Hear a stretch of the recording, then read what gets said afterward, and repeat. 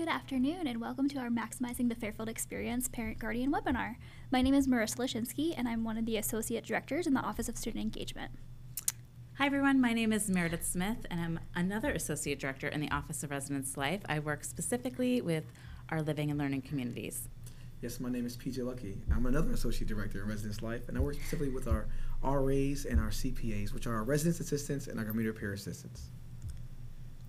Great. We're really excited that you're here. So, Um, we'll get so we are going to spend some time today just reviewing some um, of the things that your students have inter- interacted with and covered um, in their first semester at Fairfield so far. We're going to review our Jesuit tradition and how it ties into really maximizing your experience. Um, and we will talk about opportunities for students to get engaged and involved beyond what they're currently doing so that they make the most out of their time at Fairfield. So, our Jesuit tradition. So, there are four Jesuit values that, ho- that we hold very near and dear to our community, which is the magis, cura personalis, men and women for others, and reflection. But the two that I would like to highlight today are the magis and cura personalis. Uh, magis in Latin means more. So, we strongly encourage our students to do the more, to do the better, to do greater. But when we say more, we don't mean more as in doing more things, but we mean enhancing who they are and enhancing what they're already involved in. So we strongly encourage our students to enhance who they are and get involved and learn more about themselves and you know and, and contribute in a greater way. And then it's cura personalis. Cura, personalis in Latin means care for the whole person.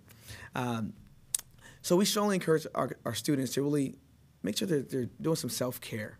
Um, but with that self care, that they're learning about who they are, but they're also learning how to care for the community.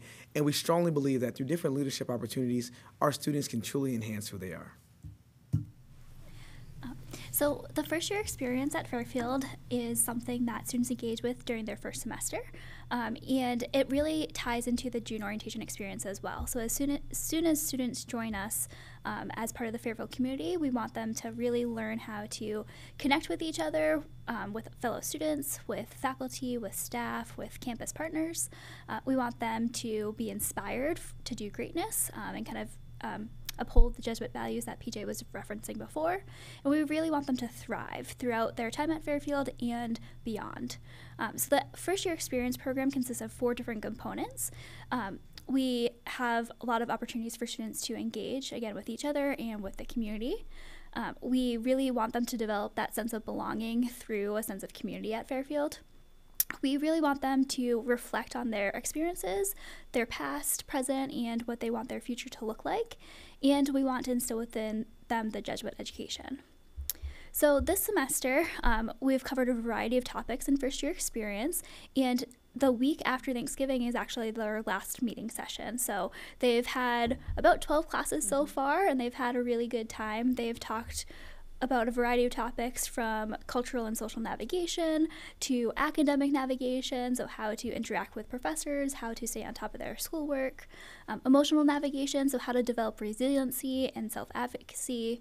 Um, we've also discussed some of the big topics that a lot of college students face on campus, like alcohol awareness and the hookup culture. Um, we've had our third installment of Step Up Stags, which they started in June orientation and then again at Fall Welcome, which is our bystander intervention training, where we partner with the Center for Family Justice. Um, they've had difficult dialogues and talked about social identity. So, how do you have discussions uh, that are respectful, but you also um, acknowledge a variety of perspectives? We also prepared them for their course registration, which they did this week. So we had some academic advising sessions. We gave them pointers on how to use the registration system and how to talk to their advisors about what classes are best for their academic exploration and career goals. Um, and then this week we covered My Fairfield Future, which is kind of what we're talking about right now. Um, and again, exploring the possibilities so that they can um, really make the most out of their time at Fairfield. Awesome. So I think both PJ and Marissa set such a beautiful context for what we're talking about today and really encouraging our students to maximize their Fairfield experience. Um, something that we did want to share is there's a lot of research out in the world actually on student engagement and student involvement. And um, these two um, researchers in particular, George Kuh, um, my higher education friends, he's a huge researcher on high impact practices. And it's really important that our students, as they're transitioning, um, find those educationally purposeful activities outside of the classroom that will really enhance um, their learning and their positive experience at Fairfield. So, some of the things we're going to be covering today um, as a team will really uh, touch upon um, some great opportunities for them to find those activities that'll help them make the most of their Fairfield experience. Another key um, just piece of research is that um, is our friend Alexander Astin um, of the Higher Education Research Institute out at UCLA, and really talks about students finding at least one meaningful activity. I know me and my colleagues, we're going to cover several opportunities today. Um, by no means an exhaustive list, but we are also a great starting place for students if they're looking for that one meaningful activity, at least one. We wouldn't recommend too many though. Um, but that helps them connect what they're doing in the classroom outside of the classroom but also connects them socially and we also we say developmentally but at fairfield we say in terms of their formation as students and as um, community members so this is the Transition W. We review this with students during their first week of the first year experience. Um, and we like to bring it up often to remind them that transition is a journey. Um, it's not just one thing and you're done. Um, it ebbs and flows. There's peaks and valleys. Um, and so we reference the Transition W a lot. Your student might be currently in a valley because they're really stressed out about the courses they did or did not get into for next semester. Or they might be at a peak because they found their friend group and really feel connected to Fairfield. Maybe after Thanksgiving, they're back down in a valley because they're starting to miss home a little bit more because they had a little bit more of a taste. They saw their friends who attend other institutions. Um, or they're coming back at a high because they only have a week and a half left of the semester and they're excited for what's ahead. Um, so if your student kind of ebbs and flows, that's completely normal. And we want to remind them of that as well is that if you are having a difficult time right now, there's always going to be greater things ahead. You just have to push through, be resilient, and kind of work and utilize your resources to get there. Awesome. So before we launch into our sophomore year experience, it's important that students get involved in any number of programs, activities, clubs, and organizations. So we just want to highlight some spring semester opportunities. We encourage students to get involved in our student government, our resident hall association, and actually in each resident hall community, they'll be hosting different meetings that talk about involvement and how they can get involved specifically in FUSA, which is our student government association, and IRHA, which is our resident hall association. But again, there's uh, definitely a plenty of clubs and organizations that they can definitely con- get in contact with um, through, our, through OSE, which is our Office of Student Engagement. Um, we also have FAN, which is our Fairfield at Night, which hosts a bunch of different programs on the weekends that, uh, that our students love to go to. Um, specifically, they love bingo. I'll highlight that program. Um, and then RA programming. Uh, every RA, they're, they're, they're, they have to do at least three programs a month um, within their residence hall. So there's a lot of things going on. Definitely club sports, intramurals, and fitness classes will be going on. Athletics. Uh, we have some great sports. Uh, again, we encourage our students to, to, really get involved and enjoy the Fairfield experience. Uh, and definitely when it comes to some faith-based opportunities, there's some service trips going on, uh, and we have four different chaplains that are hosting different programs all across campus. We just strongly encourage students to truly get involved in these different uh, programs and opportunities. So. Yeah. Awesome. Great. So we're going to launch into some of the sophomore experience mm-hmm. um, and some opportunities there. And it may seem early, like our students are still transitioning, but uh, we want to make sure that. Um, they get a head start on thinking about their future and their potential. So, uh, one opportunity that I have the privilege of working with, and two of my colleagues have had involvement with, are our sophomore residential colleges. Um, the sophomore residential college application is live. It's um, at fairfield.edu slash res colleges. There's also a really great two minute and 42 second video to give students an overview of what the res college experience is. It's open to all our students, including commuter students, but it's really a great opportunity to students to integrate all their aspects of their student lives in one experience. And our tagline for this year is for them to explore their extraordinary potential At Fairfield, we believe every student has incredible potential, and the whole purpose of the sophomore residential college is so that they can, in a way, major in themselves, but also find ways that their academic and their living experiences are tying together with who they want to become in the future. The residential college program has three fundamental questions that students take the entire year to explore. It starts with who am I, whose am I, and the third question relates to the specific community that, that they're in. We have three wonderful residential colleges Creative Life, Ignatian Leadership, and Service for Justice, all of these communities are based in our Jesuit tradition. Um, our early Jesuits were very innovative and imaginative, and creative life comes from that tradition. Our early Jesuits were incredible leaders, and you see that in our Jesuit tradition at Fairfield University. And then our, our Jesuits, a hallmark of a Jesuit education is social justice, and that is the Service for Justice Residential College. So um, we really encourage students to apply for all three. Um, the application is not very long, it's about five or six questions. We're looking for quality over quantity. And again, we recognize students still are transitioning. And when we select these students for this program, uh, we look for students who need this program, but also students who are excited. There are some commitments with this um, activity. There are is a, a semester retreat, a, a, day retreat in the fall, and an overnight in the spring. And these are really personal development and community development retreats. Um, the students also are paired with a mentor, which both my colleagues have served as mentors. We also have community members, lawyers, doctors, uh, business leaders who um, join us on campus to mentor a group of four to six student, uh, six to eight students rather, um, once a month uh, as and accompany these students on their journey. And then these students, they take a class that they would normally take, but that class is geared towards their residential college experience. So some students, I was talking to some students yesterday at the Fairfield Future Fair, and they're like, "Oh, I have to take an extra class," and I'm like, "No, no, no, not extra. This class is a um, Magis Core class that you would normally take." However, it's with a faculty member who really wants to teach sophomore students and is excited about your role in the residential college. Um, and we also train an incredible staff of resident assistants who have also been through the residential college experience. So it's a great opportunity. It's meant to fit into a student's life. And um, we encourage all sophomores to apply for it. Typically, about half of the class ends up participating in the sophomore residential college program. Um, if your student is really they're struggling to find their group of friends, struggling to find their niche, this is a great opportunity for students um, to make friends. We see that one of our big outcomes from the sophomore residential college program is that students who are struggling to make friends, they find their community. They find um, people who are excited to meet other people.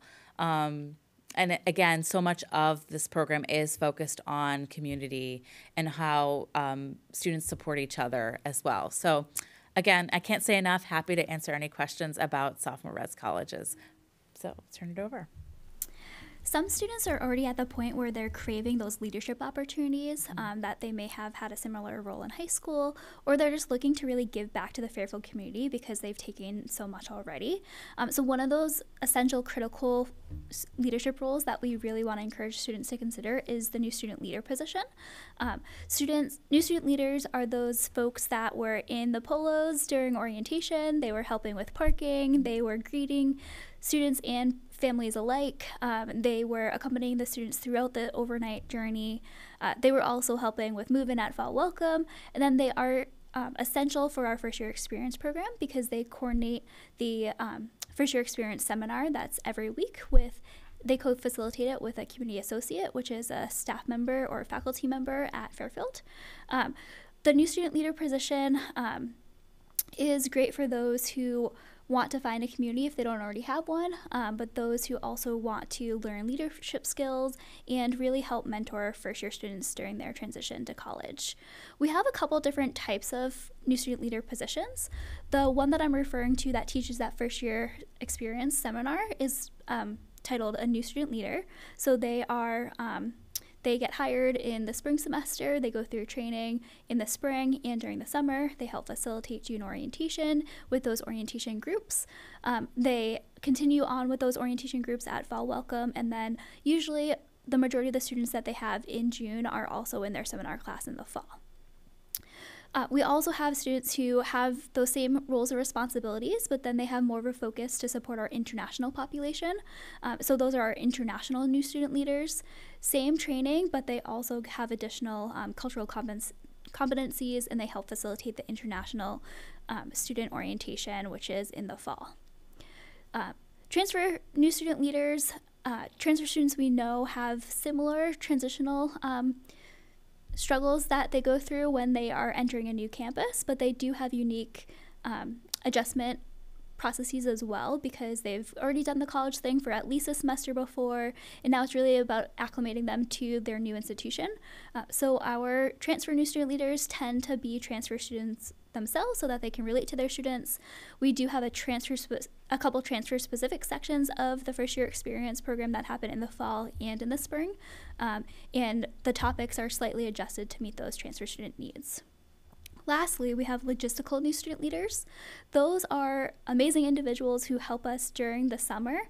Uh, they do not teach the first year experience class in the fall, but they're the ones who are doing all those behind the scenes things that need to get done in order to put on large scale programs like June orientation. So they are making signs, they are putting things around campus, they're stuffing all of the swag bags that we give out to mm-hmm. students and their family members. Basically, anything that we need a logistical new student leader is going to be at the ready to, uh, ready to go and help support that process. So, if a student doesn't necessarily think that they would be comfortable facilitating a first year experience class or don't want a commitment that's going to go into the school year but want to still give back and have a developmental opportunity during the summer, I would recommend that they apply for the logistical new student leader position. So now we're going to talk about the timeline of the application. So the application went live yesterday in time for our My Fairfield Future Fair. It is um, live until February 3rd, so it is due then. So they have a couple months to complete it. Um, they can find the app- students can find the application on Life at Fairfield, which is our engagement portal online, um, and it will be on the actual engagement page in Life at Fairfield. Uh, we do have an interview process, so we conduct that um, in the spring semester before decisions are made. So that's this year going to going to be between February 10th and 21st. And notifications of offers will go out prior to spring break, so then students can talk to their families during spring break whether or not they want to accept the opportunity that they were offered um, and come back in the rest of the spring semester for training. Awesome. So another leadership position that's definitely available for the sophomore year uh, is the RA, excuse me, the resident assistant position or the commuter peer assistant, which we say short for it. We say RA and CPA. Uh, when it comes to the RA position, our RAs are responsible for social, academic, personal, um, just really holistic development of our undergraduate students. Um, they're consistently hosting different programs and different opportunities to truly enhance our students. Uh, with that said, those RAs are gaining some great leadership skills. Uh, they're learning time management, critical thinking, communication, decision making. Excuse me, decision making. Um, there's three things when we are hosting RA training that we really focus on. We want to make sure that every RA or CPA leaves with leading self, leading team, and leading community because we believe that as they enhance who they are, they definitely can enhance others.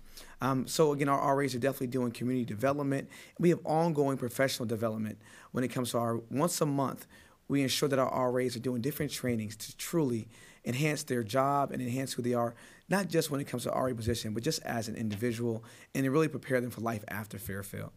Uh, when it comes to the RA role or the CPA role, they're really gaining lifelong friendships. Uh, and that's with their staff members, as well as with their residents or with uh, the, different commuters that may enter into their lounge. So we truly encourage uh, RAs and CPAs to, to, to really learn and just really, you know, be in the experience and, and take away what they can from it. Um, and there's definitely a competitive compensation package when it comes to those different roles. Uh, when it comes to the RA role, uh, there's definitely room and board that comes with it and a small stipend, as well as when it comes to the CPA role, uh, there's definitely a stipend uh, associated with that. Uh, the RA position, uh, the application launched last Friday, November 15th, and it's currently open. you de- any student can definitely go on uh, Life at Fairfield, we have an RA selection portal um, that they can go into and apply for the position. Applications are due January 24th. Um, and then, along with the application process, there's a group project. Um, they'll be assigned to that group after they submit their application. Um, and then we have an interview day, February 15th, 2020. So we strongly encourage sophomores that are interested, uh, that may not want to go into our res colleges, or that may go into our res colleges to apply for, yeah, apply for both. Yes. um, it's a great opportunity uh, for leadership development. Awesome. And just to tag on before we go to Interfaith Peer Leader, um, we find that it's important for students, they can apply for multiple things. Mm-hmm. Um, the Res College application, we have RAs who are sophomores mm-hmm. who are participating in the Res College program. So we encourage students to again apply for both um, or multiple positions. Mm-hmm. Um, and it's really important because typically with new student leader and with resident assistant, we tend to hire more juniors and seniors, but we do feel like there is a learning piece of going through the application process. I know many of our junior and senior applicants um, applied as sophomores, and it was great experience. And they now know, like, we do give them feedback on their interview skills and um, it's just it's it's good to try. It's good to make that attempt. So. Um, I just just a little plug there for applying applying for things and putting one's name out there. Um, so just another leadership position that I have the pleasure of co-supervising with my colleagues in campus ministry and the Center for Faith in Public Life. We have this great group of students called the Interfaith Peer Leaders, um, and they, uh, like the RA and like the new student leader, are embedded with the first year class, but their role is to really promote um, discussion and dialogue around difference, specifically faith, spirituality, and religious difference. Um, again, one of the key pieces of the Jesuits are that they're constantly in conversation. Uh, we are a Jesuit and Catholic institution, but we welcome all students from all faiths and religious backgrounds. And it's important to talk about uh, things that are really core to our own identities with each other and build comfort around that. So, um, these great student leaders, uh, we do a weekly meeting with them um, and and promote their inter. We call it like interfaith literacy and their development, um, but they also do events with the RAs, the resident assistants, and commuter peer assistants on a monthly basis to really encourage like conversation around these difficult topics. Um, so their application will open on December 1 on Life at Fairfield and will close March 3rd. So a little bit longer of a timeline for that piece. Um, it's a small team, but it's a great team. Um, and it's it's it's students. We don't expect any student to step into this role and be like, "Oh, ready to rock and roll as a leader." All of us see leadership as a process, so we take time to really develop students into leadership roles and and develop their leadership skills. So again, if this is something that's interesting, again, we welcome students from all faith backgrounds and philosoph- philosophical backgrounds. Wow, words are a little hard. Um, to this, or even questioning, they don't have to be from a specific faith tradition. So it's just a fun role too. Mm-hmm. Awesome. And another opportunity is our care team. Our care team is our community advocate and relationship educators. Uh, they're based out of the Office of Student Diversity and Multicultural Affairs. Um, the goal of the care team is to cultivate healthy and authentic relationships, um, to, to, explore commonalities and differences. Uh, one thing I must say is our care team leaders look to develop consciousness around social justice. Um, they facilitate different dialogues within different residence halls to truly make sure that they're educating our students when it comes to inclusivity as well as diversity. Um, so it's a great opportunity for students to learn um, and gain the skills on how to facilitate. And we actually do some training together when it comes to our care team and our RAs at different times. So again, it's just a great opportunity for students to, to gain another way of leadership on our campus. Mm-hmm. And just to, before we move mm-hmm. on, mm-hmm. to add on to that, no, you can leave it oh, on this next slide. Um, all of these opportunities, all of these student leaders that we're talking about, do do programming and do do events. So again, if students are interested, we encourage them to like go go to an info session, go to a care team dialogue, mm-hmm. um, you know, go to their residence hall association meeting. Um, students don't have to commit; they can get to know what happens. And I know Care Team offers dialogues in the spring mm-hmm. as well. Um, just another quick uh, plug uh, for our colleagues in campus ministry and the Center for Faith and Public Life. We're in great service, um, learning opportunities, and um, whether it's service in our local community or uh, what we call amazing quote breaks domestic service trips during spring break. There are also international immersion trips as well. Um, there are great opportunities for students to start thinking about for spring, but also thinking about their sophomore year. Um, there are some incredible service learning classes. So they're taking a class and serving as a service learning associate out of the Center for Faith and Public Life we really encourage students to start to engage in service. This is more than just simply volunteering or simply um, being philanthropic. Those are very important things, but actually engaging in the act of service is really important to encourage students in their own reflection and development. So, again, a plug for service and immersion. All these opportunities are listed on our student engagement platform, Life at Fairfields. And if they have any questions, um, we encourage them to reach out to the Center for Faith and Public Life and uh, campus ministry. But if they don't know how to reach them, they can reach out to us and we'll get them in touch with them. Awesome. Great. Well, thank you. So we just took a couple minutes to talk about some of the major um, student leadership opportunities that we're aware of, and that and what we're most familiar with yeah. from our positions in our offices. Um, but there are plenty more out there, and even if a student doesn't want a specific role for a student leadership position, there's definitely ways that they can get involved with um, more in depth with things that they're already engaging with on campus. So if they're already in a club and organization, they can try to be an officer, so take on that leadership role and kind of stay within their comfortable setting, but take another step forward. Again, Magis, strive for mm-hmm. excellence, do the more. Um, they can also look at things that are happening, just kind of one off things, so they don't necessarily need to do a year long commitment or um, something that they are doing on a weekly basis.